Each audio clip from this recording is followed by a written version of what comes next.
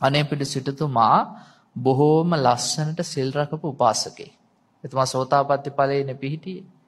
හැම පෝය දවසකටම සතර පෝයෙට gedara සිල් සමාදම් වෙනවා. දවසක් මේ ගෙදරට ආව මිනිස්සෙක් රස්සාවක් හොයාගෙන එයා එන දවසේ මේ සිටුතුමා ගෙදර හිටියේ නැහැ. ඉතින් අනිත් සේවකයෝ කිව්වා කමන්නේ සිටුතුමා බොහොම කරුණාවන්තයි රස්සාවක් දෙයි කියලා. ගෙදර නැවතුණා. ඒ පාර කිව්වා මොකද අද මේ ගෙදර නිකන් විශේෂත්වයක් වගේ තියෙන්නේ කවුරුත් සද්දයක් බද්දයක් නැහැනේ. අනේ අපි හැමෝම සතර පොයට සීල් සමාදන් වෙනවා.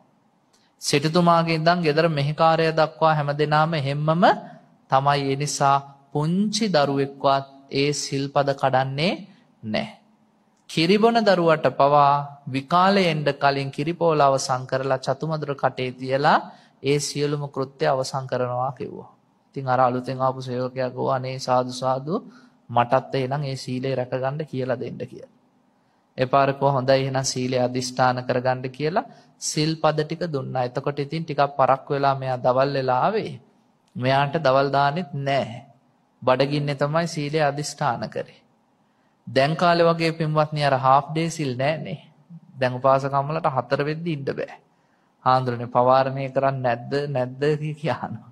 ඉස්සර එහෙම නෑ උපෝසත සීලය කියලා කියන්නේ අද උදේ සිල් ගත්තා නම් හෙට උදේ වෙනකම් පැය 24ක්. ඒක තමයි උපෝසතේ කියන්නේ. ඒ උතුම් රහතන් වහන්සේලා අනුගමනය කරමින් දහවලෙහි ත්‍රයෙහිත් සිල් රැකීම තමයි උපෝසතේ. ඉතින් මේ මිනිස්සයා දැන් සීලය අදිෂ්ඨාන කරගෙන හිටියා රාත්‍රී කාලයේදී කුසගින්න ඉතාමත්ම වැඩි. එපාර අනිත් සේවකයන්ට ගිහින් කිව්වා අනේ මට හොඳටම බඩගිනි. එහෙනම් ඉතින් සීලය අතාරින්න මොනවා හරි කන්න. ඕගොල්ලොත් එහෙම කරනවද? අපෝ අපි නම් හිතන්නේවත් නැහැ කිව්වා. සිටුතුමා එයා කොහොමටවත් සිල්පද කඩන්නේ නැහැ කිව්වා. හරි ආදරේ කිව්වා සිල්පද වලට තමන්ගේ දරුවෙක් රකින්නා වගේ සීලය රැකගන්නේ. කොහා එහෙනම් මට එපා කිව්වා. මොකද එයත් මේ අලුතෙන්නේ මේක පුරුදු පුහුණු කරන්නේ. එහෙනම් මටත් එපා කියලා මේ මිනිස්සයා බඩගින්නේ හිටියා. මධ්‍යම රාත්‍රියේ වෙද්දී පින්වත්නි දැන් බඩගිනි ඉවස ගන්නම බෑ. එහෙට ඇඹරුණා මෙහෙට ඇඹරුණා ඒ පාරත් ගිහින් කිව්වහම කිව්වා එහෙනම් චතුමදුර ටිකක්වත් ගන්න. සිටුතුමත් ගන්නවද? නෑ නෑ නෑ. ඒගොල්ලෝ මේ සිල්පදේ කඩන්නේ නෑ කෝ. එහෙනම් ඉතින් මමත් වීරය කරන්න ඕනේ කියලා හිටියා. අලුයම් කාලේ ඉවස ගන්න බැරි වුණාම මේ මිනිස්සයා මොකද කළේ? පොරවාගෙන හිටපු රෙද්ද බඩ හිර වෙන්න තද කරලා ගැට ගැහුවා.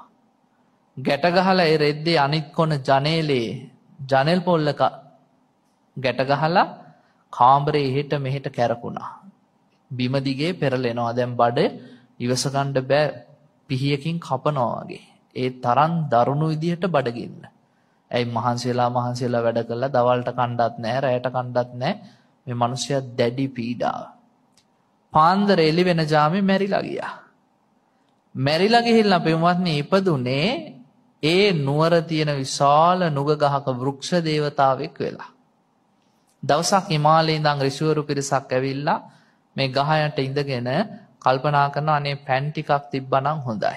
ටික වෙලාවකින් පෑන් තලියක් තියෙනවා ළඟින්. ආයි ඍෂිවරු කල්පනා කරනවා නාගන්න තිබ්බනම් හොඳයි. ඒ පාර පේනවා පොකුණුකුත් තියෙනවා එහා පැත්තේ.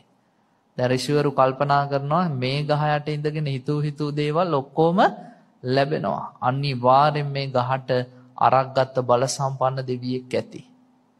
ඒ දෙවිය අපට පෙනේවා කියලා අදිස්ථාන කරනවත් එක්කම අර නුග ගහේ මුල් අතරින් විශාල දුමාරයක් එක්ක දෙවි කෙනෙක් මතුවෙනවා. අහනවා මොනවා කරලාද නුඹ දෙවියෙක් උනේ? අනේ මං අනේ පිටු සිටුතුමාගේ ගෙදර හිටපු සේවකයෙක්. සිල් සමාදන් වුණා මට සිල්පද ඔක්කොම රැකගන්න බැරි වුණා.